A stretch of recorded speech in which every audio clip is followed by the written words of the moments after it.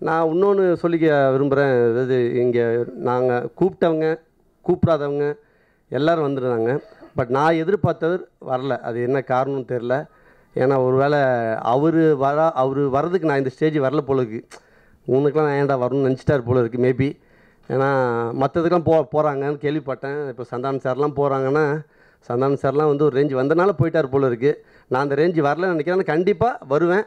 எங்கள் அப்பாவோட ஆசீர்வாதம் என்னோட மனைவியோட சப்போர்ட் ஸோ இருக்கு கண்டிப்பாக வந்தோடனே அவரே வருவார். அது கண்டிப்பாக ஒரு நாள் நடக்கும். இந்த படத்தை பற்றி சொன்னேன்னா ஒண்டிக்கு வண்டி எங்கள் அண்ணன் மனோஜ் அவர் தான் வந்து ரெண்டு வருஷம் முன்னாடி இந்த கதை சொன்னா போல். சொல்லும்போது ஏப்பா போப்பா இதெல்லாம் ஏன் பண்ணுவான்? ஏன்னா ஒரு டான்ஸ் மாஸ்டர் ஜாலியாக ஆடணுமா கூத்து போட்டோம் அப்படி போயிடலாம். இதை படம் பார்த்தா தெரியும் ஃபஸ்ட் ஹாஃபுக்கு செகண்ட் ஹாஃபுக்கும் ஃபஸ்ட் ஹாஃபில் வந்து நான் வந்து நைன்ட்டி சிக்ஸ் செவன் நைன்ட்டி செவனாக நைன்ட்டி எயிட்டா கேஜி அந்த வெயிட் இருந்தேன். இந்த இந்த இது வந்து நைன்ட்டி எயிட் அந்த கேஜியில் என்ன? ஃபஸ்ட் ஆஃப் முடிஞ்சிச்சு அண்ணன் போய் கேட்குறேன் அப்பா முடிஞ்சிச்சுல சரி அடுத்தது அந்த கேரக்டர் மாற்றணும்ல அதுக்கு ஒரு ஃபோர் மந்த்ஸ் டைம் எடுத்துப்பா. ஃபோர் மந்த்ஸா பா மலேசியா ப்ரொடியூசர் பாவம்ப்பா என்னப்பா? அப்படியா? சரிப்பா ஒரு த்ரீ மந்த்ஸ் அப்பா உங்கள் அண்ணன் டைரக்டர் நான் பாவம்ப்பா என்னப்பா? அப்பா டூ மந்த்ஸ் அப்பா நீ ஹீரோப்பா பாவம்ப்பா என்னப்பா? அப்பா இப்போ என்னதான் பண்ண சொல்கிற ஒரே மாதம்தான் இப்போ போகிறோம் அதே ஒரு ஒரே மாதத்தில் இங்கே ஷூட்டிங் எடுத்தாகணும். எங்கே? நான் வந்து நைன்ட்டி சிக்ஸ்லேருந்து அந்த சாங் பார்த்துருப்பீங்க செகண்ட் ஹாஃபில் செவன்ட்டி செவன் வந்தேன். ஸோ ஒரே மாதம்தான் ஸோ அதுக்கு காரணம் வந்து எங்கள் அண்ணன் மேலே வச்சது நம்பிக்கை எங்கள் அப்பா என் மேலே வச்சது நம்பிக்கை. இதில் ரொம்ப பொறுமையாக இருந்தது என்னோடய ஒய்ஃப் பிரியா. ஏன்னா வந்து உங்களுக்கு தெரியும் ஒரு புருஷன் வந்து சாப்பிட்லன்னா சமக்கம் ஒரு வீட்டில் ஆக்குனா அவங்க ஆக்கி சாப்பிட்டுட்டு இருப்பாங்க நான் இங்கே பச்சை கறி தின்ட்டுருப்பேன் ஸோ அவங்களுக்கு ரொம்ப தேங்க்ஸ் சொல்கிறேன் என் பொண்ணு எனக்கு கிட்ட பண்ணிட்டே இருப்பா பிரியாணி சாப்பிடும்போதெல்லாம். அப்படி ஏன்னா நல்லா சாப்பிடுவேன் நான் பேசிக்காக அதனால் அவங்க எல்லா குடும்பத்துக்கும் நான் ரொம்ப சாரி கேட்டுக்கிறேன் ஃபஸ்ட் ஏன்னா டயட் இருக்கும்போது எல்லாருக்கும் தெரியும் எரிஞ்செஞ்சு விழுவோம். எது கேட்டாலும் எரிஞ்செஞ்சு விழுவோம். அதுவும் இந்த டைம் குறுகிய டைமில் நம்ம அந்த உடம்பு ரெடி பண்ணது வந்து ரொம்ப கஷ்டம். த்ரிஷா இல்லைன்னா நயன்தாரான்னு எல்லாரும் சொல்றாங்க. அண்ணாக்கு த்ரிஷாவா நயன்தாராவா? இல்லை இல்லை. இந்த கேள்வி எப்படி ஆரம்பிச்சதுன்னா ஹார்ட் ஒர்க் பண்ணி வந்திருக்கீங்க. சக்ஸஸ்ஃபுல்லாக இருக்கீங்க. அப்படின்னு ஆரம்பிச்சுட்டு திரிஷாவை நான் தரங்க என்ன கேள்வி? இல்ல நீங்க மாட்டி விட்டுற கூடாதுன்னு சொல்லி எதுக்கு அந்த பில்டப் கொடுத்தீங்கன்னு தெரியல இல்ல. இல்ல கேள்வி இதுதான். நீங்க உங்களை சொல்றதுக்கு முன்னாடி இதெல்லாம் அப்படிலாம் பிரித்து பார்க்க முடியாதுமா அழகு. பெண்கள்னாலே அழகு தான். சரி ஓகே அப்போ அது வயசு அப்படிலாம் கிடையாது. பெரியவங்களானாலும் சரி அதுக்கு ஒரு அழகு இருக்குது அது ரசிக்கக்கூடிய அழகு அது. ஸோ பெண்கள் எல்லாருமே அழகு தான். ஓகே அண்ணா. இப்போ சூப்பர் அதுக்காக ஒரு கைத்தல் கொடுத்தலாம். ரொம்ப அழகா எங்கேயுமே ஒவ்வொரு முறையும் கைத்தறி ரெக்கமெண்டேஷன் பண்ணாதீங்க ப்ளீஸ் ஒரு மாதிரி இருக்குது. சரி இப்போ இதுக்கு வேணா பதில் சொல்லுங்க. விஜய் ஒவ்வொரு ஆக்டருக்கும் வந்து அவங்க ஜோடி ஸ்க்ரீன் ஆன் ஸ்க்ரீனில் பார்க்கும்போது அந்த ஜோடி பேர் வந்து அழகா இருக்கு அப்படின்னு சொல்லுவாங்க. நீங்க ரெண்டு பேத்து கூடயும் நடிச்சிட்டீங்க. நயன்தாரா கூடயும் நடிச்சிட்டீங்க. த்ரிஷா கூடயும் நடிச்சிட்டீங்க. விஜய் சேதுபதி அவர்களுக்கு இந்த பேர் சூட் ஆகுது அப்படின்னா உங்களுக்கு அது யார் அப்படின்னு டிவி நினைக்கிறீங்க? வந்திருக்கீங்கல்ல நீங்கள் சிறப்பு. ஜென்ரலாக ட்ரெஸ்ஸு போடுறதுக்கு ஒரு சென்ஸ் ஒன்று சொல்லுவாங்க. எந்த மாதிரி ட்ரெஸ்ஸாக இருந்தாலும் சரி பிடிச்சி போட்டிங்கன்னா உங்களுக்கு அந்த ட்ரெஸ்ஸு செட் ஆகிடும் சொல்லுவாங்க. அந்த மாதிரி தான் பேருங்கிறது கெமிஸ்ட்ரி பிட்வீன் த அந்த ரெண்டு பேருக்குள்ள கெமிஸ்ட்ரி அண்டர்ஸ்டாண்டிங் அந்த கேரக்டர் ப்ரொஜெக்ட் பண்ணுறது தான் இருக்கே ஒழிய அது முக வடிவத்தையோ அழகத்தையோ அழக வச்சு இல்லை அது. அந்த கேரக்டர் என்ன ப்ரொஜெக்ட் ஆகுதுன்னு வச்சு தான் இருக்குது ஸோ அந்த பிஹேவியர்லாம் அது இருக்குது அப்படி தான் பார்க்கணும்னு நான் நினைக்கிறேன். கேரக்டர் வந்து இப்படி பார்க்கக்கூடாது என்ன ட்ரெஸ்ஸிங்கில் இருக்காங்க? எவ்வளோ மேக்கப் போட்டிருக்காங்க? என்னவா ப்ரெசென்ட் ஆகிக்கிறாங்கங்கிறது செகண்ட் இரண்டாம் தரம். அந்த கதாபாத்திரம் வடி வடி- வடிவமைக்கப்பட்டிருக்கிறத வச்சு தான் அதோட அழகும் அதோட நீங்கள் சொல்கிறீங்களே இந்த பேர் இது எல்லாமே செட் ஆகுதுன்னு நினைக்கிறேன். ஸோ அப்படி தான் அது. ஸோ அப்படி தான் பார்க்கணும் அது. அப்போ சூப்பர் அண்ணா. தேங்க்யூ இன்னொரு லாஸ்ட் கேள்வி. நீங்க கஷ்டப்பட்டு வந்திருக்கீங்கன்னு எல்லாருக்குமே தெரியும். பழைய ட்ராமா இங்கே பாருங்க. இல்ல இப்போ நான் அதுக்கு அதுக்கு தான் வரேன். அதுக்கு தான் வரேன் அதுக்கு தான் வரேன். உண்மையாவே அதுக்கு தான் வரேன். கஷ்டப்பட்டு வந்திருக்கீங்கன்னு எல்லாருக்குமே தெரியும். இப்போ நீங்க வந்து நிறைய ஆக்டர்ஸ் ஆன் ஸ்க்ரீன்ல பாக்குறீங்க. ஆனா சினிமாக்கு வரதுக்கு முன்னாடி நீங்க ஆன் ஸ்க்ரீன்ல நிறைய தேட்டர்ல போய் படம் பார்க்கும்போது இவரை மாதிரி நான் நடிக்கணும். இவரை மாதிரி நான் ஸ்க்ரீன்ல இருக்கணும். அந்த மாதிரி யாரையாவது நீங்க நினைச்சிருக்கீங்களா? இதில் ரெண்டு கேள்வி இருக்குது நான் ரெண்டு பதில் சொல்கிறேன் ஒன்று வந்து கஷ்டப்பட்டு வந்தாங்க இங்கே எதுவுமே கஷ்டப்படாமலாம் கிடைக்காது ஒன்று அப்புறம் கஷ்டம்னு ஒன்று இல்லை. நீங்கள் இங்கேருந்து நான் போரூர் போகணும் அப்படின்னா நான் போரூர் ட்ராவல் பண்ணி தான் ஆகணும். இங்கே இருந்துட்டு போரூர் போகிறோம்னா போக முடியாது போரூருக்கு. ஸோ அது அந்த பிரயாணங்கிறது அவசியம். அந்த பிரயாணத்தை கஷ்டம் சொல்ல விட அது பேர் அனுபவம் நான் சொல்கிறேன் அது கஷ்டம் இல்லை அது பேர். இன்னும் என்ன கேட்டிங்க? இன்னொன்னு இன்ஸ்பயர் ஆனது யாரு? அப்படி யாரும் எனக்கு இன்ஸ்பயர்லாம் ஆனதில்லை. எனக்கு வந்து வரதுக்கு முன்னாடி. இல்லை நான் நிறைய படம் பார்க்க மாட்டேன். எனக்கு படம் பார்த்தா போர் அடிக்க முடியல சின்ன வயசில். ஸோ நிறைய படம் பார்க்க மாட்டேன். நான் ஏன் தெரியல எனக்கு ரசனை இல்லை அப்போது சினிமா என் தொழிலாக மாறினதுக்கப்புறம் நான் கற்றுக்க ஆரம்பித்தேன் நான் சொன்னேன்ல ராபர்ட் பார்த்து மகி பார்த்துலாம் எனக்கு பொறாமல் இருக்குன்னா எனக்கு வராது. அதனால் எனக்கு பொறாமல் இருந்தது. ஸோ அப்போ எனக்கு வரணுன்னா என்ன பண்ணணும்னு இருந்தது. ஸோ அது தெரிஞ்சுக்கிறது அதுக்கு ஒரு சூத்திரம் இருக்குது அது நுவான்சஸ் என்னென்னு புரிஞ்சுக்கிறது தான் வேலைன்னு தெரிஞ்சது. புரிஞ்சுட்டு அதை பிரேக் பண்ணிடலாம். கதவு பெருசாக இருக்கலாம் ஆனால் சாவி சின்ன தானே லவ்லி லவ்லி அண்ணா. தேங்க்யூ ஸோ மச் நான் சின்ன வயசுலேருந்தே ராபர்ட் நான் பார்த்துருக்கேன் எங்கள் ஸ்ட்ரீட்டில் பார்த்துருக்கேன். நான் ராவன் கல்லில் இருந்தேன். ஏன் இந்த பையனாக சும்மா நடிக்கிறான்லாம் சூப்பராக இருக்கும் மகேந்திரனை பார்த்து எனக்கு எந்த அளவுக்கு பொறாமல் இருக்கும் அந்த மாதிரி இருந்தது ராபர்ட் பார்த்து. என் மகேந்திரன் அவ்வளோ குட்டி வயசு செம்மையாக நடிப்பான் அப்பயே வந்து. ராபர்ட்டையும் வந்து நான் அப்போ பார்த்துருக்கேன். எனக்கு இப்போ தான் எங்கள் வீட்டு பக்கத்தில் இருக்க பையன் இப்போ தான் பார்த்தேன். அவன் சொல்லுங்க ராபர்ட் நான் பார்த்துருக்கேன் சின்ன வயசில் அப்படின்னு சொல்லிட்டு. ஸோ ரொம்ப நாள் கழிச்சு நான் ராபர்ட் இங்கே பார்க்குற மாதிரி சந்தோஷம். அண்ட் uh, அவர் தொடர்ந்து முயற்சி பண்ணிகிட்டே இருக்காரு. ஏதாவது பண்ணிக்கிட்டே இருக்காரு. வந்துக்கிட்டே இருக்காரு மோதிக்கிட்டே இருக்காரு. முதல்ல அதுக்கு முதல்ல வாழ்த்துக்கள். கலந்து போகிறாங்க கலந்து போகிறதில்ல ஏதாவது ஒன்று பண்ணுறாரு பண்ணிக்கிட்டே இருக்காரு. அண்ட் தென் uh, uh, படத்தோட டெய்லியும் பார்த்தோம் சாங்ஸ் பார்த்தேன். அவங்க முயற்சிகள் மெட்டீரியல் என்ன இருக்கும் வாழ்த்துக்கள். ஹீரோயின் ரொம்ப அழகாக இருக்காங்க. அந்த மலேசியாவில் வந்து போங்க என்ன இது காமெடி இல்லையா? சீரியஸ்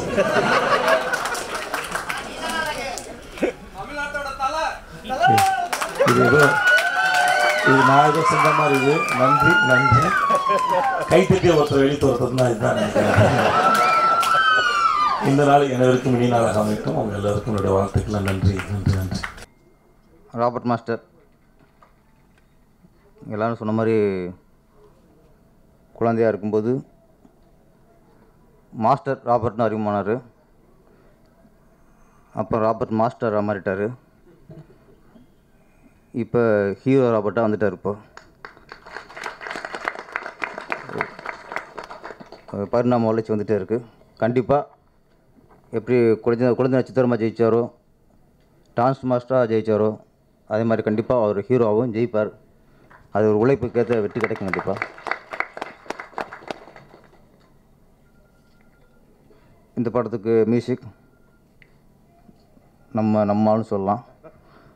ஸ்ரீகாந்த் தேவா சார் இப்போ நடிகரில் ரஜினிகாந்த் விஜயகாந்த் ஒரு காந்த்னா ஒரு எனர்ஜி இருக்கும்ல. அவர் மியூசியர் இல்லை ஸ்ரீகாந்த். அப்புறம் அந்த காந்த்னால ஒரு எனர்ஜி தான். அவர் கடந்துட்டு போனாலே சார் ஜெயிக்கிறோம் ஜெயிக்கிறோம் பாரு. கேட்கும்போது ஜெயிச்சிரும் நம்பிக்கை வந்துடும் நம்மளுக்கு. அந்தளவுக்கு எனர்ஜியை கொடுக்குறவர் நம்ம ஸ்ரீகாந்த் தேவா சார். பேச்சில் மட்டும் இல்லை மியூசிக்லையும் கொடுத்துருக்காரு. அவருக்கான வாழ்த்துக்கள். இப்போ நீ குறிப்பாக பாராட்டணும்னா விஜய் சேதுபதி சார். அவர் இருக்கும்போது பாராட்டுறதை விட அவர் இல்லாமல் பாராட்டுறது தான் உண்மையான பாராட்டுன்னு நினைக்கிறேன்.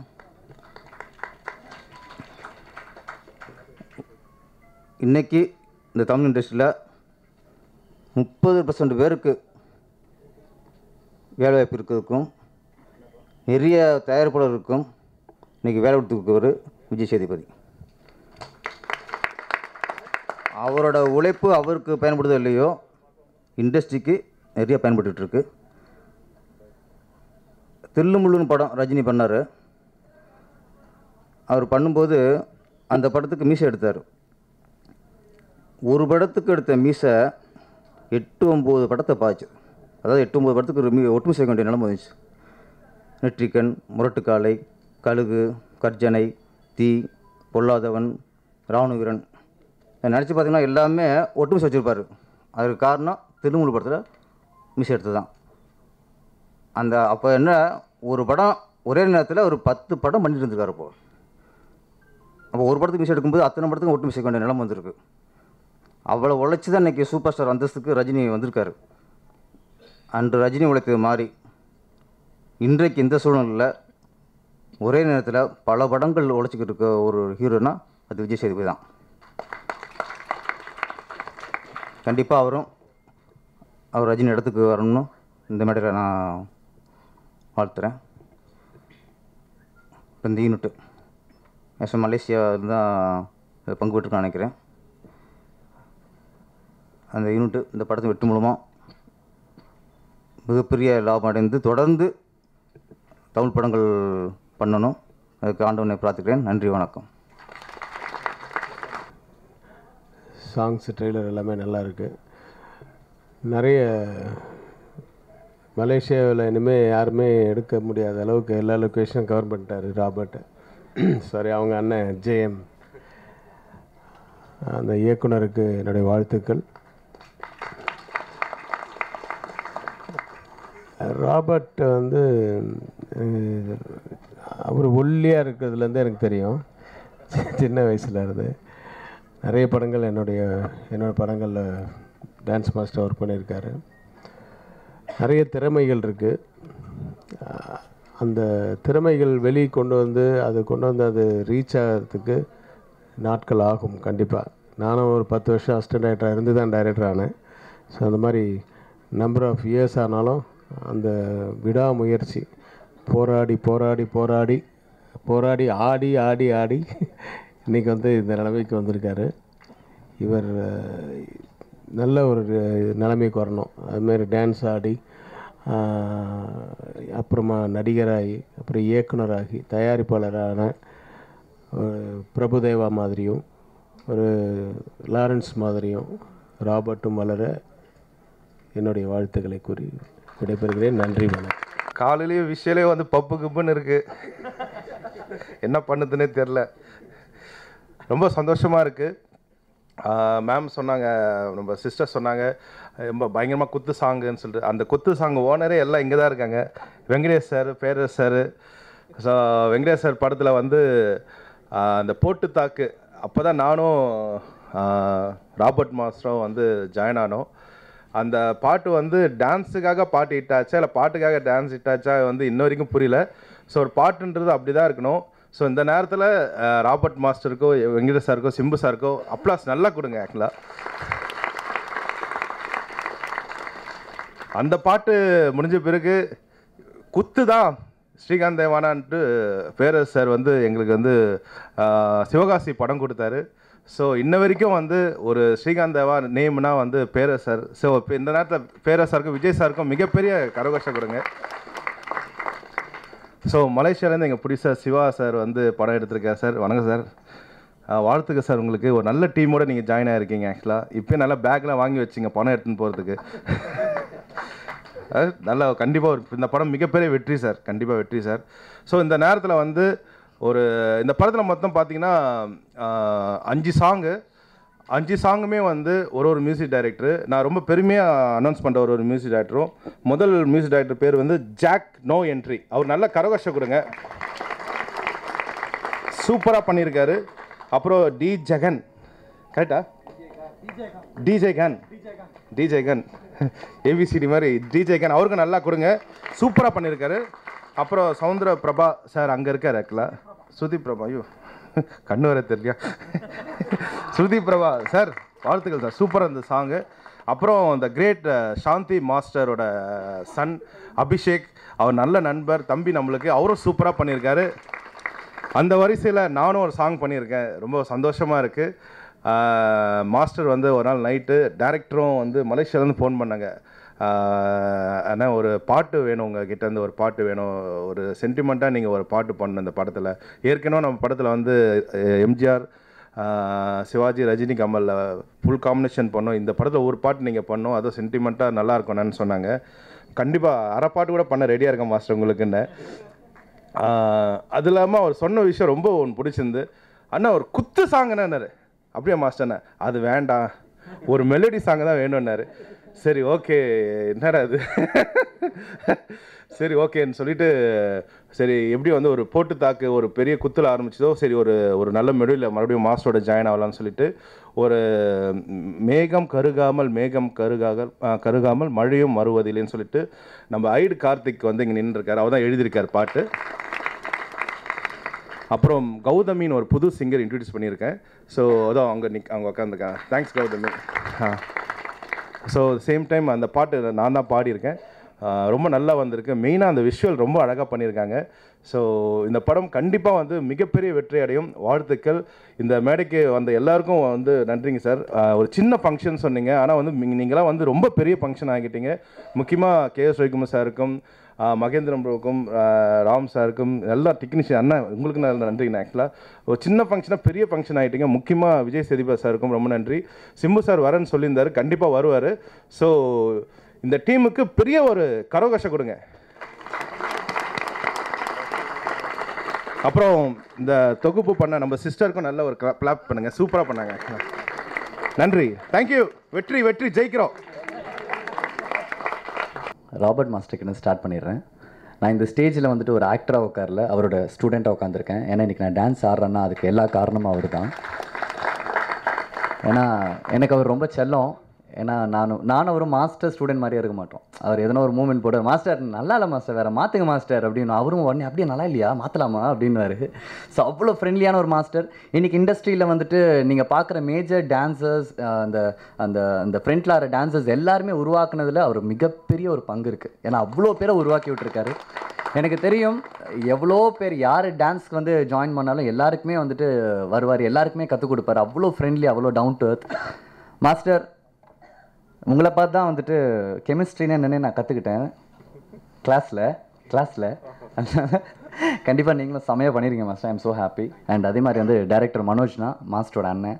எல்லாருமே அந்த ஃபேமிலியே பார்த்தீங்கன்னா சினிமா சினிமா சினிமான்னு மட்டும்தான் இருப்பாங்க. சினிமாவோட மிகப்பெரிய பைத்தியம் சொல்லலாம் அந்த ஃபேமிலி ஸோ அவங்க எல்லாரும் இங்கே பார்க்கும்போது ரொம்ப சந்தோஷமாக இருக்குது thank you so much um, and Srikanth அண்ணன். ஸ்ரீகாந்த் அண்ணன் வந்துட்டு நான் தேவசர் மடியில் உட்காந்துட்டு நான் ஹார்மோனி பெட்டியை பார்க்கும்போது ஸ்ரீகாந்த் அண்ணாவை அந்த ஓரமாக நான் பார்த்தேன். இன்றைக்கி வந்துட்டு ஸ்ரீகாந்த் அண்ணா பார்க்கும் ரொம்ப சந்தோஷமாக இருக்கேன். என் படம் ரெண்டு படம் மியூசிக் பண்ணி கொடுத்துருக்காரு. செம்மையாக பண்ணியிருக்காரு. அண்ட் உங்கள் பர்மிஷனோட நெக்ஸ்ட் எஸ் நெக்ஸ்ட் வந்துட்டு மாசு நல்ல ஸ்டேஜ் நினைக்கிறேன். அதான் இப்போயே சொல்லிடுறேன். நெக்ஸ்ட் வந்துட்டு ஸ்ரீகாந்த் அண்ணா வந்து நீங்கள் வேற ஒரு டிரான்ஸ்ஃபர்மேஷனில் பார்ப்பீங்க ஒரு செம்ம வெஸ்டர்னில் செம்ம ஸ்டைலில் ஒரு சாங் பார்ப்பீங்க வெரி சூன் நானும் மாஸ்டரும் பண்ண போகிறோம் ஸோ அதுக்கும் உங்கள் விஷஸ் எல்லாம் வேணும். And thank you so much and Malaysian artist உங்கள் எல்லாருக்கும் ஒரு பெரிய வெல்கம் அண்ட் uh, இந்த நிகழ்ச்சிக்கு வந்த அத்தனை பேருக்கும் தேங்க்யூ பாரசீகத்தில் ஒரு பழமொழி சொல்லுவாங்க. பேரணி முடிந்து விட்டது ஆண்டுகள் பல ஆகிவிட்டது ஆனால் அதன் தூசி இன்னும் அடங்கவில்லை அப்படின்னு சொல்லுவாங்க. நான் உள்ளே என்ட்ராகும் போது ட்ரைலரும் சாங்ஸும் பார்த்தேன். இன்னமும் அந்த காட்சிகளும் அந்த இசையும் என் காதில் ஒலிச்சிக்கிட்டே இருக்கு. அவ்வளோ அற்புதமாக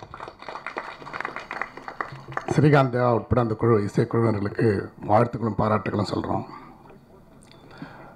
எனக்கு முன்னாடி சிஆர் பாஸ்கர் சார் உட்பட வெங்கடேஷ் எல்லார் குறிப்பிட்ட ஒரு விஷயந்தான் படத்தில் நம்பியாரை இப்படி காட்டுறதுக்காக இந்த மாதிரி. ஏன்னா நம்மளோட ஆட்டிடியூடு ஒருத்தருடைய பழக்க வழக்கங்கள் உணவு இதெல்லாம் வந்து ஒருத்தரோட கேரக்டரோட ஒப்பிடுற மாதிரி ஒரு விஷயத்தை நம்ம வந்து பண்ணிட்டோம்.